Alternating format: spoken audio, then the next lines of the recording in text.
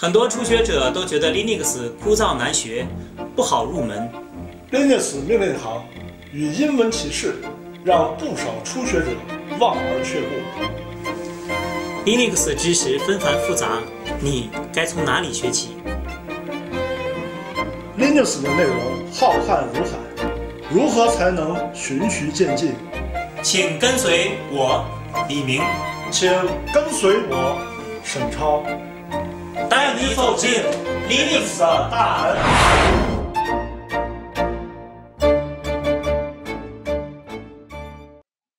大家好，欢迎大家继续收看兄弟连细说 Linux 配套视频。我是沈超老师，在屏幕上有我的微博和兄弟连的官方论坛地址，大家可以通过这样的方式跟我们进行沟通和交流。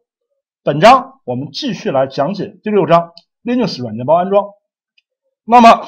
这一章我们还是来讲解 YAM 在线安装。上一节课我们讲了 IP 地址的配置和 YAM 源的网络 YAM 源的使用。本章我们来学习 YAM 命令。只要我们的 Linux 能够接入互联网，那么默认网络 YAM 源其实不需要做任何修改，这些 YAM 命令就可以直接使用。那么到底有哪些 YAM 命令可以使用呢？首先可以使用的命令是查询。YAM list，啊，这条命令的作用是获取可以服务器上可用的软件包列表。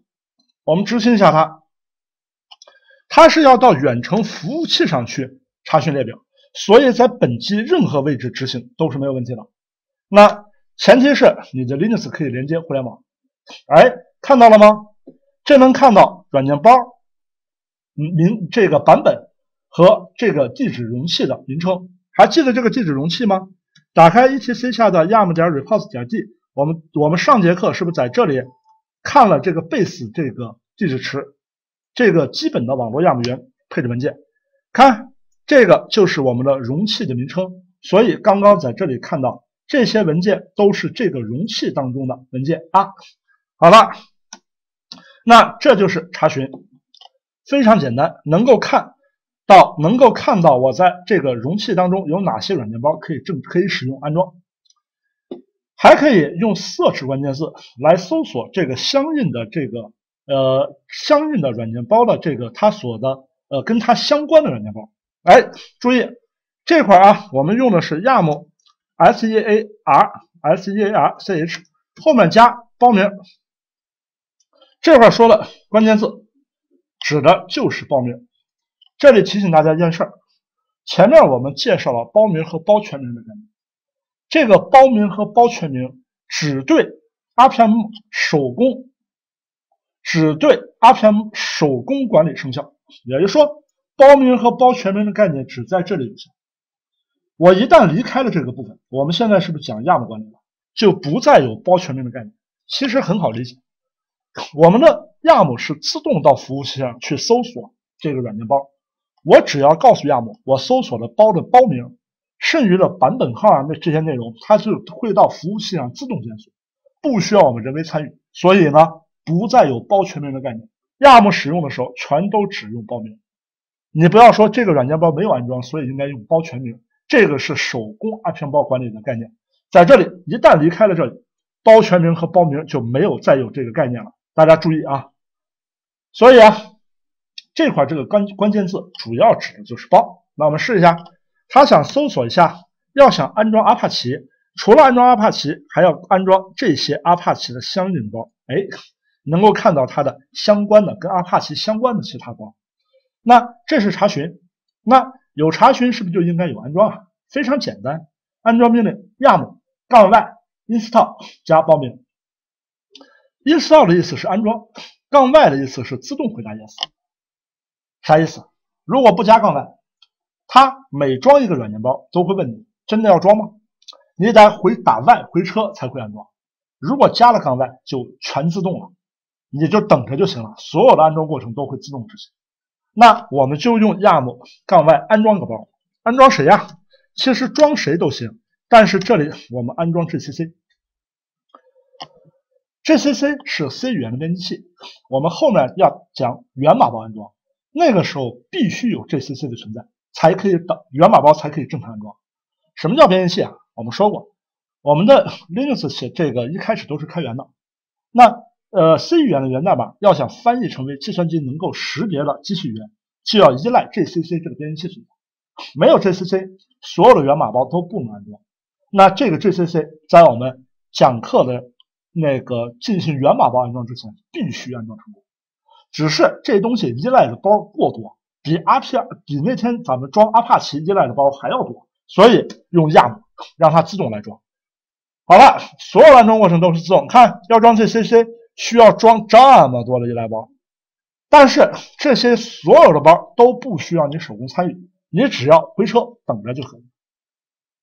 唯一的问题啊，就是他要去远程服务器下载这个，呃，下载这个它所依赖的所有的包，所以啊，看起来速度好像不怎么快，所以呢，需要稍微等待一会儿，稍微等待一会儿。那么这个时间应该不会太长，因为这些包都不是太大，都不太大。我们稍微等待一会儿，让它装的。好，稍微等待一会儿，这里暂停。好了，我们经过了一段时间等待，大家会发现，首先 YAM 会到这个服务器上下载需要的这个软件包。哎，经过了这样一些时间啊，等待了下了多长时间？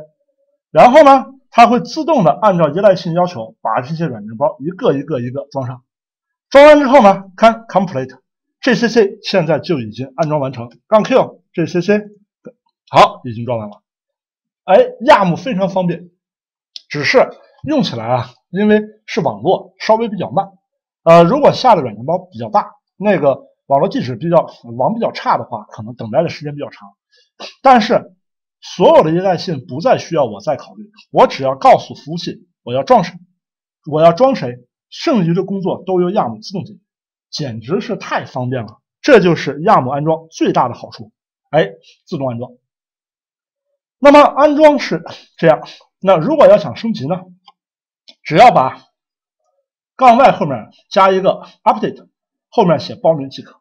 那现在呢，我们因为是到官方直接下载的 GCC。所以呢，呃，应该使用的已经是最新版本，也不需要升级。所以我这里升级命令不再演示。但是我想提醒大家一件事：如果你这个杠 y update 后面没有接包名，只写的是 yam 杠 y update，它的意思是说，升级所有的软件包，包括 Linux 内核本都会升级。大家小心，Linux 内核升级完成之后，是需要在本地做一定的配置。你的内核才可以正常使用，才可以启动。如果你是在远程执行了这样一条命令，你就会发现你的服务器怎么也开不开机了，永远也无法连接。那这个时候，这条命令会导致服务器直接崩溃。如果你是在远程的话，所以我提醒大家，像这样的升级所有软件包的命令，我希望大家慎用。我们曾经出现过这种情况，超哥搭了一台新的服务器。然后呢，跟我们的合作单位、合作伙伴，他来负责在这个服务器上安装传安装这些程序。然后呢，头天搭完，第二天就给我打电话，你们服务器当了。我还很纳闷儿，我说服务器刚装的，什么都没有，一个完整的新系统，而且做了完整防护，没有做任何事情，怎么会当呢？我就追问他，你干嘛了？他说我啥也没干，就升级了一下系统。好吧，再去看，他就执行了这样一条命令。导致 Linux 内核整个也彻底更新，内核更新之后，远程就就导致它根本就起不来，远程就根本没有办法再做调整。还好服务器在我的跟前，我在本地的情况下解决了这个问题。所以啊，提醒大家，如果升级后面请跟软件包名，不要直接打 yam 杠 y update。那升级是这样，卸载也同样如此。小心，我们说阿片包的依赖性是这样的。装 A 包的时候问我要 B 包，先装 B；装 B 包的时候先装装 C。那卸载的时候就是先卸载 C，而装的时候是先卸载，先装 C，再装 B，再装 A。那卸载的时候就是先卸载 A，再卸载 B，最后卸载 C。那这个时候啊，做这样的一些操作的时候，当 A、B、C 卸载的时候。如果我要卸一个软件包，它会把它依赖的这些包全部卸掉。但是有很多情况下，这个软件包它依赖的包不光被这个包依赖，还被 Linux 系统本身依赖。那这个时候，你以为只卸了这一个包，但是它一些依赖包卸载完成之后，会导致出现很多问题，比如说系统直接就崩溃了，或者系统当中很多重要功能就不能使用了。这是我们说使用 YARM 最常见的问题，就是第一个就是 YARM 更新，把整个系统全都更新，包括内核；第二个就是卸载，用 YARM 卸载。各位，YARM 非常智能，手工用 RPM 包卸载，你还能看看这个包，大概猜一下这包是干嘛。YARM 连这个过程都省了，它从头到尾全部自动化。那一旦你把某一个包卸载掉，它所依赖的这些包也会相应的卸载。那这个时候有可能会造成系统出现严重问题，所以我在这里强调一下服务器的安装原则。我们的 Linux 服务器或者说所有的服务器应该采用这样的原则：安装的时候最小化安装，不安装多余软件，使用什么软件安装什么软件，手工装，尽量不卸载，尤其是 YARM 卸载，尽量不要多用。呃，我们这么说吧。只要敢用 YARM 卸载的，或者敢用 YARM 升级所有系统的，十个里面把系统玩崩溃了，呃，几率大概在百分之七十左右，六七十。当然这是我个人的经验，所以啊，提醒大家，这个东西非常危险，最好没事别用 YARM 卸载，用什么装什么，装完了尽量就不要去卸载。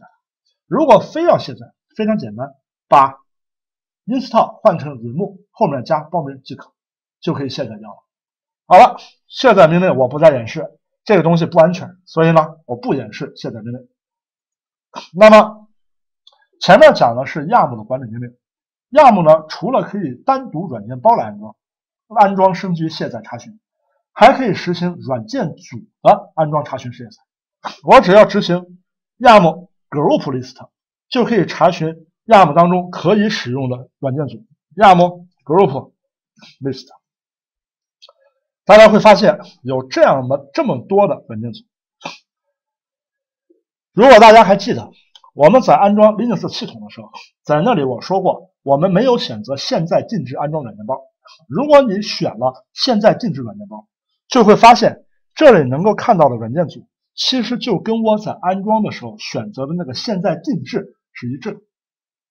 那也就是说，这个组安装其实就是安装的。我们安装过程当中选的那些功能组，只是啊，我们可能当时选的是这个基本服务器，没有去选现在禁止。哎，如果你们回过头再去看一下的话，那块就会发现，打开它们基本是一致。那这种组安装要比单独去安装一个一个软件包要方便得多。比如说我需要某一个功能，比如说我需要一个什么输入法的功能，那把整个输入法组安上就行。只是这里因为我们是采用的中文安装。又让我们的远程工具支持中文，所以这块输出的是中文。但是如果你要用亚模来安装这个软件包组，它是不能识别中文的。那安装命令不难，就是这样亚模 group list 后面加软件包组名。只是我们在工具里查出来的是中文组名。那要想看到英文组名也很简单，我打开迅疾本身去查亚模 group list，哎，就能看到这些英文组名。然后呢，需要什么工作组是需要什么软件包组装什么组就可以。注意，如果组的名字之间有空格，请你在这里，请你在这里软件包组名这里用双引号把这个组名括起来。如果有空格的话，安装过程就是这样，非常简单。软件包组安装，那既然有软件包组的安装，当然也可以有软件包组的删除。那么软件包组啊，呃。非常简单，也非常方便。如果大家需要的话，可以安装，全都自动。我这里不再演示。好了，本节课我们讲了 YARM 的命令，这里主要分了两类，一类是 YARM 的软件包安装，另外一类是 YARM 的软件包组安装。软件包安装当中，我们讲了 YARM 的安装、呃查询、升级、卸载。在软件包组安装当中，我们也讲了查询、安装和卸载。那么这节课就是这样，我们下节课来讲光盘 YARM 源搭建。下节课再见。如果你想和我交流 Linux 学习的问题，可以登录兄弟连官方论坛，你就可以找到我。如果你有任何疑问，如果你想获取 Linux 的更多学习资料。请关注“汽车 Linux” 微信公众账号，你就可以找到我。